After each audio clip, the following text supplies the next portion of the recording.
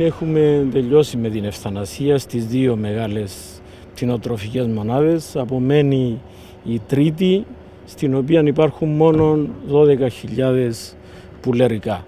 Εκείνο το οποίο απομένει είναι η μεταφορά, η φόρτωση και η μεταφορά των θανατοθέντων πτηνών στον αποτεφρωτήρα και μετά θα ξεκινήσουν οι απολυμάσεις.